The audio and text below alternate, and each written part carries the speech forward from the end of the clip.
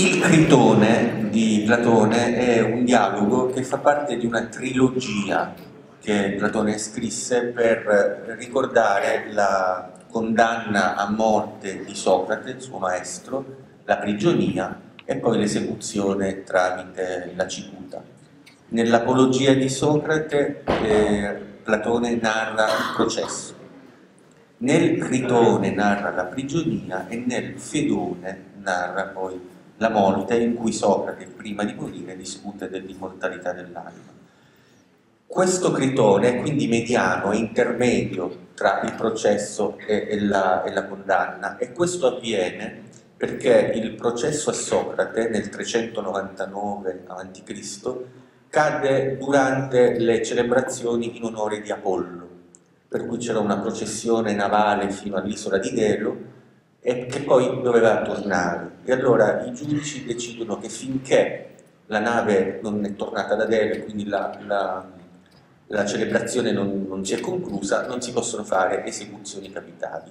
E allora Socrate rimane in prigione per un bel po', un bel po'. e questo consente all'amico, a Critone appunto, amico di, di vecchia data di, di Socrate, di provare a farlo fuggire eh, gli propone eh, una sorta di, di, patto, io corrompo i secondini, i carcerieri e ti faccio scappare, ti, ti faccio arrivare in Testaglia oppure in un'altra parte, in un'altra città dove potrai salvarti.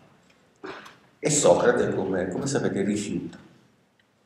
E allora, dal punto di vista della trilogia, noi potremmo dire che questi tre dialoghi eh, rappresentano una autodifesa di Socrate a tre livelli diversi. È una lettura di questa trilogia che è stata fatta da un interprete fine del, del platonismo che si chiama Thomas Slesak della scuola di Tubinga che ha interpretato appunto la trilogia come una difesa a tre livelli. Il primo livello di fronte ai giudici è sul piano politico, giuridico, retorico dove appunto Socrate si difende dalle accuse. Nel Critone invece l'autodifesa si sposta sul piano etico, sul piano morale, tanto che si potrebbe dire che è una rappresentazione delle virtù di Socrate. Cioè Socrate mette in atto le virtù che ha sempre predicato, la giustizia, il coraggio, la sapienza, quelle che vengono chiamate le virtù cardinali, e vedremo in che modo. Mentre nel Fedone, che è il terzo, ed è anche la conclusione della trilogia, l'autodifesa va sul piano filosofico, metafisico, religioso, perché si parla dell'immortalità dell'anima, di quello che succede dopo la morte, per cui sono tre momenti chiaramente ben scanditi. E in questo appunto, come vi dicevo, la tematica è incentrata sulle virtù. Da un lato Socrate parla della, della sapienza, quindi della coerenza tra quello che ha sempre detto è quello che deve fare al momento decisivo, perché lui ha la possibilità di sottrarsi, di sottrarsi alla morte fuggendo.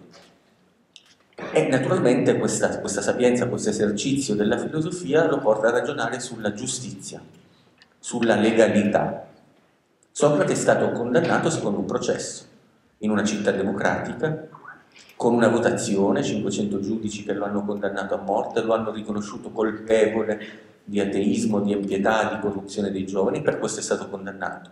Naturalmente lui ritiene la condanna ingiusta, la ritiene ingiusta, però non vuole trasgredire la legge. La sua fedeltà al, alla legge di Atene lo porta a preferire una condanna ingiusta piuttosto che trasgredire la legge. Detto in altri termini, preferisce subire un'ingiustizia piuttosto che commettere un'ingiustizia a costo della vita. E questo è un po' l'eroismo della, della coerenza di Socrate portata fino all'estremo, che si scontra naturalmente con il buonsenso di Critone dell'amico che dice ma no, la condanna ingiusta scappa, al momento di scegliere tra vita e morte è meglio scegliere la vita. Quindi questo è il grande messaggio di Socrate che in fondo è anche un messaggio di non violenza. Di non violenza perché Socrate dice a un'ingiustizia, anche violenta, non si risponde con un'altra ingiustizia. Quindi diventa un martire della giustizia e lo fa con grande coraggio, ecco un'altra virtù, con grande forza d'animo, con grande fortezza, perché affronta la morte senza averne paura. Quindi il grande confronto di Socrate al momento della morte è con un eroe omerico, Achille. Achille eh, c'è, anche una citazione eh, omerica, eh, Socrate sta dormendo, sogna e sogna una frase che era riferita ad Achille. A un certo punto Achille preferisce, ha la tentazione di sottrarsi alla battaglia e dice fra tre giorni mi metto in nave e torno a Ftia, la mia città natale appunto in Tessaglia. Allora Socrate sogna questa, questa, questa frase e quindi questa frase eh, da Critone viene interpretata come una sorta di invito a fuggire in Tessaglia. Naturalmente né Achille si sottrasse alla battaglia, infatti poi, poi rimase, e, e sapete quando a finire, né Socrate si sottrae alla scelta finale, alla scelta di accettare la morte. Ebbene, da questo punto di vista è un, grande messaggio morale, etico, morale, ma anche un grande messaggio civile, di rispetto della legge e naturalmente pone anche dei problemi. Di fronte a una legge che noi consideriamo ingiusta o una condanna ingiusta, come comportarci? C'è la possibilità, per esempio, dell'obiezione di coscienza? Questo è un caso che magari potremo approfondire nel dibattito dopo, perché eh, per esempio eh, Martin Luther King sosteneva che eh, la sua la teoria della non violenza la teoria della non violenza si trova in due grandi testi dell'antichità naturalmente nel Vangelo il messaggio cristiano porgi l'altra guancia, non, non, commettere alcuna violenza, e poi c'è proprio nel Critone.